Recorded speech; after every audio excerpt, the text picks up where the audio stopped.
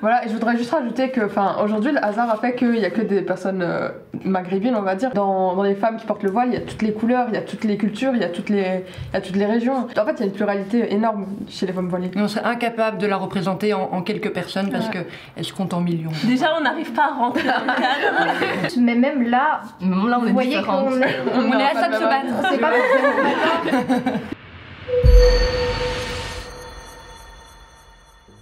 bonjour, je m'appelle Sarah, j'ai 21 ans, je suis étudiante en droit, je suis belgo-marocaine, mon père est belge et ma mère est marocaine. Moi, je m'appelle Fatima Zohra, j'ai 23 ans, je suis étudiante encore en architecture, je réalise aussi des documentaires. Je m'appelle Souheila, j'ai 23 ans, je suis étudiante en master en histoire et en gestion culturelle, et voilà.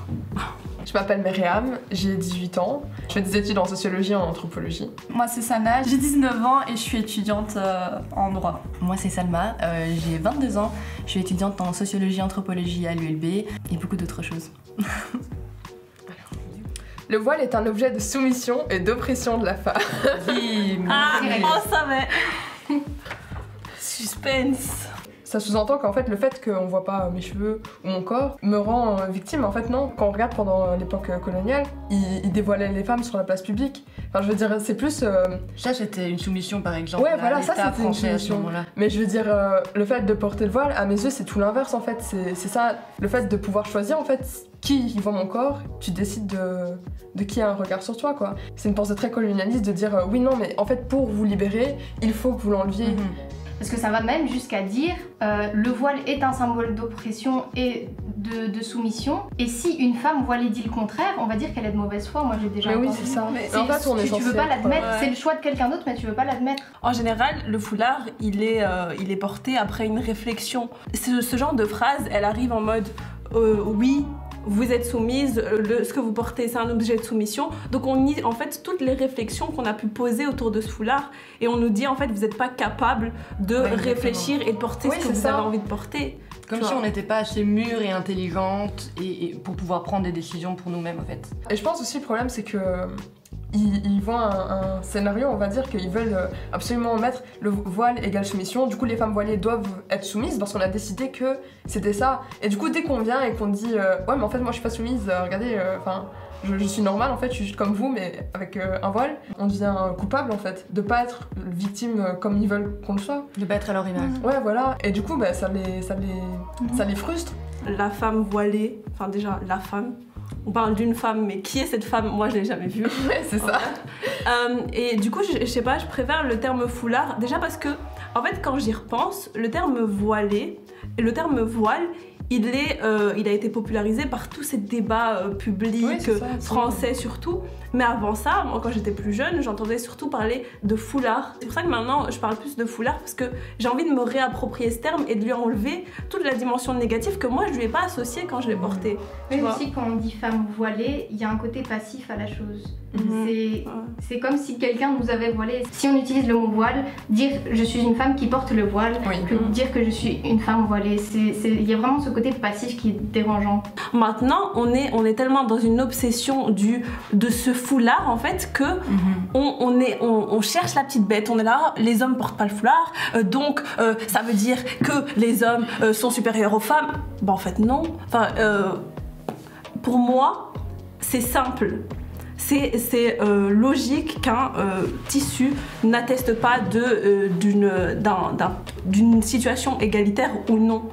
Et j'ai du mal à concevoir qu'on puisse comme ça se poser la question sans essayer de s'informer. Ce qui est drôle quand les femmes euh, féministes blanches disent que le voile il est antiféministe et qu'on peut pas être féministe en, en portant un foulard, c'est que souvent elles prônent être pro-choix et euh, qu'on ait le droit d'utiliser notre corps comme bon nous semble et qu'on a le droit de- d'en faire ce qu'on veut, sauf si vous portez un voile. Alors tu peux être féministe, mais sans décider toi-même ce que tu fais vraiment de ton corps. Mais je pense aussi le problème avec les white féministes, c'est que euh, elles conçoivent une, euh, une façon d'être libre et euh, elles ferment la porte à toutes les autres. Enfin, le féminisme, c'est tellement euh, plus que ça. Il y y a tellement de, de facettes, il y a tellement de, de façons d'être libre en fait. Et, euh, et le principe, c'est juste chaque femme a le droit de choisir euh, de quelle façon elle, euh, elle veut se libérer. C'est un, un genre de néocolonialisme d'une certaine façon. C'est un genre, parce que, parce que nous, euh, les blancs, on a, le, on a le savoir, on sait comment vous libérer. et il faut que vous nous écoutiez parce que vous savez pas quoi. Pour moi, euh, très honnêtement, je suis très radicale par rapport à, aux féministes euh, blanches. Je pense qu'elles sont très anti-féministes. L'essence même du féminisme, il, il est né d'une volonté des femmes de choisir ce qu'elles veulent. Elles choisir de, voter, choisir tous ces éléments-là. On, parle d'un choix et ici, on, a, on, est, on est dans une société où les femmes sont différentes, elles ont différentes façons de voir la vie, différentes façons de s'habiller. Et en fait, elles sont restées bloquées à euh, un type de féminisme qui est le leur et qui doit être universel. Et si on ne pense pas comme ça, ah ben, on n'est pas féministe. Il y a autant de féminisme, souvent comme ils disent, il y a autant de féminisme euh, qu'il y a de femmes au fait. Chacune a une conception complètement différente de la féminité et on devrait être libre de pouvoir la vivre exactement comme bon nous semble. Les femmes voilées n'auraient pas d'ambition.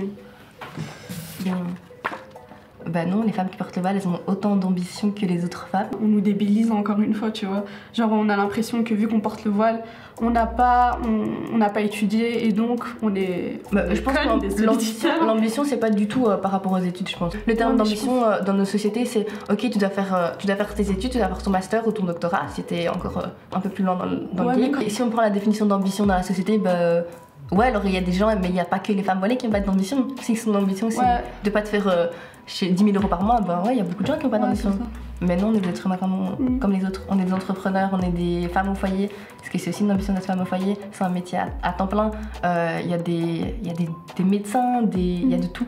Ouais, voilà, je sais pas moi, par exemple, euh, quelqu'un qui voudrait faire euh, un métier mais qui porte le voile, c'est plus difficile pour lui euh, de pouvoir l'exercer vu que, enfin voilà, il y a beaucoup d'entreprises qui n'acceptent pas le voile.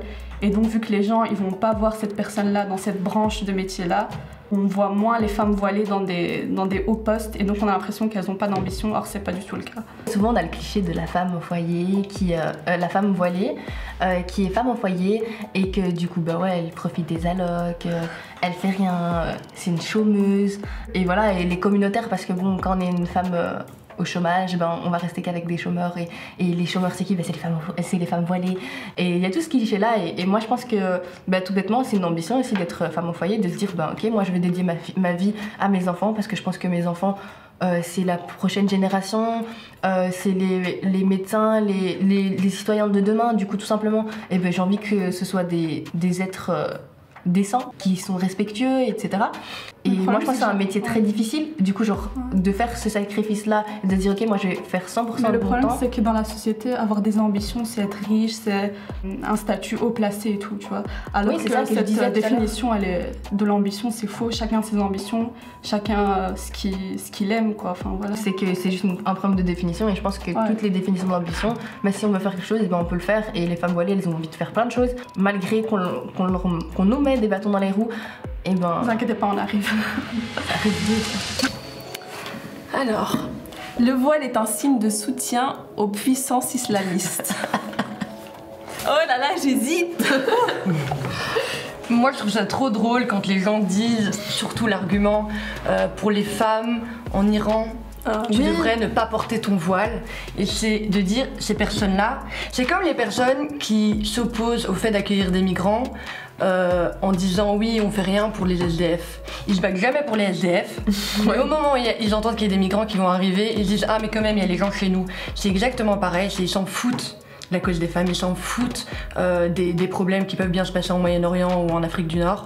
Au moment où ils peuvent s'opposer à ton voile en utilisant cet argument en disant regarde les pauvres les femmes là-bas dire mais ces femmes elles t'ont pas attendu pour se battre pour leurs Mais droits ouais, elles ça. le font depuis des décennies depuis des centenaires elles t'ont pas attendu elles se battent au moment où on parle et t'essayes de, de contester mon droit de pouvoir le porter en parlant du droit de quelqu'un d'autre de pouvoir ne pas le porter en fait. Voilà. Et le, le pire, c'est qu'en Iran, les femmes, elles ont jamais dit qu'elles étaient contre le voile en soi. C'est vraiment contre. Elles choisissent, elles veulent avoir le choix de Ouais, porter ou ne pas le porter. ne pas le porter Et vraiment, c'est.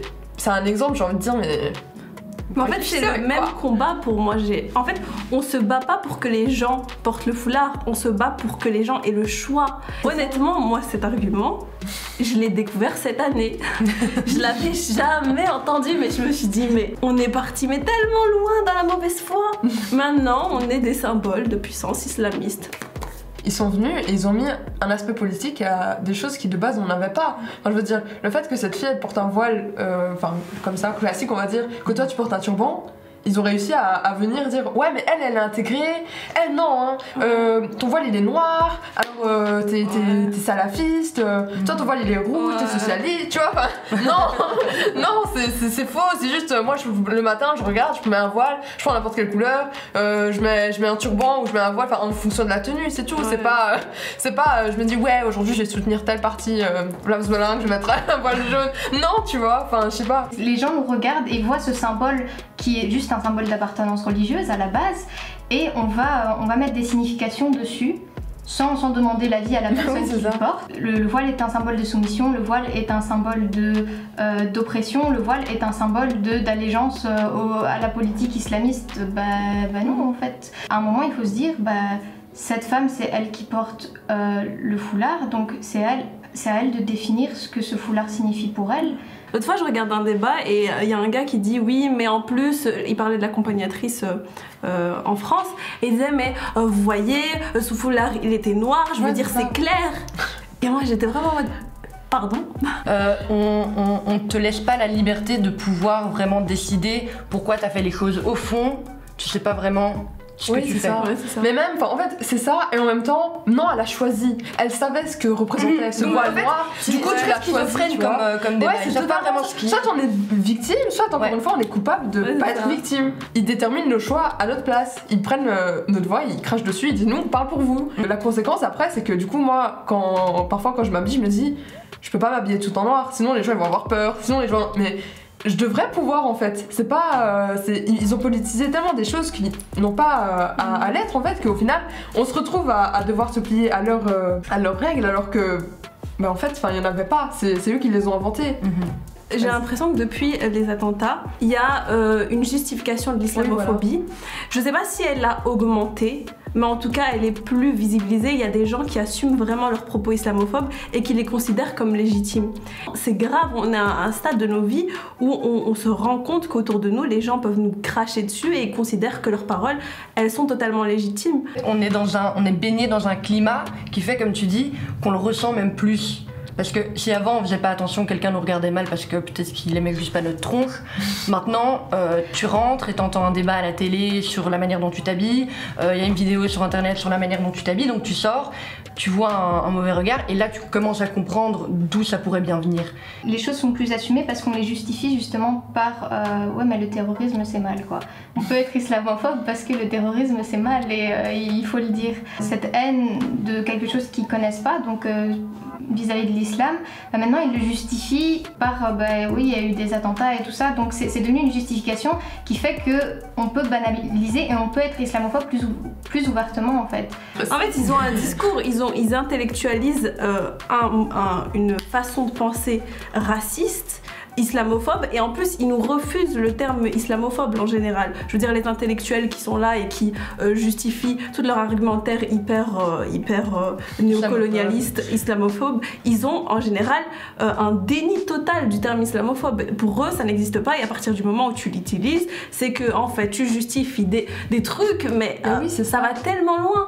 On nous refuse aussi d'avoir peur du terrorisme, on nous refuse de- d'être contre le terrorisme parce qu'on nous associe à ça. On ne peut pas être contre un mouvement qui en fait est un mouvement auquel on appartient, mais en fait il tue Ou aussi. alors on nous demande tout le de, monde. de nous désola- de nous désolidariser et ça c'est c'est quand même fort comme preuve de l'islamophobie ambiante en fait. Mon père qui est belge et athée, on lui a jamais demandé de se désolidariser des actes terroristes. On, on- on doit dire ah non, on fait pas partie de ce groupe-là, hein, vous inquiétez pas. Mais nous mettez pas dans ce groupe-là de base en fait. On- vous, vous êtes pas dedans. Pourquoi nous, on, devrait, on devrait s'y retrouver genre Enfin, je sais pas si vous avez vu il y a pas longtemps, il y a- il y a eu un débat sur a-t-on le droit d'être islamophobe Ouais. Et j'ai envie de dire non, c'est clair, c'est juste un débat qui, qui montre que être islamophobe serait juste une critique de l'islam. Mais c'est faux, c'est- être islamophobe en fait, c'est déshumaniser les personnes musulmanes. Et enfin, c'est ça qui montre que l'islamophobie, déjà, c'est très lié à du racisme, désolé, mais voilà. Et je verrai jamais un, un débat à la télévision sur a-t-on le droit d'être antisémite Pourtant, euh, c'est à mes yeux, c'est la même gravité, c'est le même euh, problème. Alors, les femmes voilées ne se... Pardon Les femmes voilées ne se lavent pas les cheveux, c'est pour ça qu'elles portent le voile. C'est vrai. Ouais. Franchement, c'est. Alors en fait, comme nous, on est des femmes euh, souvent nord-africaines en Belgique, ou bien en fait africaines en général, les femmes qui portent le voile et du Moyen-Orient. En fait, nous, dans nos cultures, elles faire des bains d'huile dans les cheveux. Du coup, ce qui se passe, c'est qu'on laisse notre, le bain d'huile dans nos cheveux toute la journée et du coup, on met un voile pour protéger les On fait cheveux. des cures de sébum euh, toute l'année, voilà. On laisse Et c'est pour ça, c'est pour ça que toujours les filles qui portent le voile, elles ont des beaux cheveux, mais vous le savez pas parce que vous les voyez pas. Le port du voile est obligatoire selon l'islam. Euh, bah ouais, à l'unanimité des savants, euh, le voile est obligatoire. C'est euh, le verset 31, je pense. Ouais, toi t'es précise. Après, euh, comme dans toutes les religions, euh, dans toutes les pratiques religieuses, c'est tu le fais ou tu le fais pas et c'est pour toi. Ouais. Je pense que c'est. Et euh, il y a souvent des, euh, des gens qui disent ouais, le voile n'est pas mentionné dans le Coran, c'est euh, juste euh, la poitrine. Sauf que la plupart de ces gens-là, ils savent pas que le Coran a besoin d'une interprétation. Et euh, en plus, on se base pas que sur le Coran, il y a aussi la Sunna.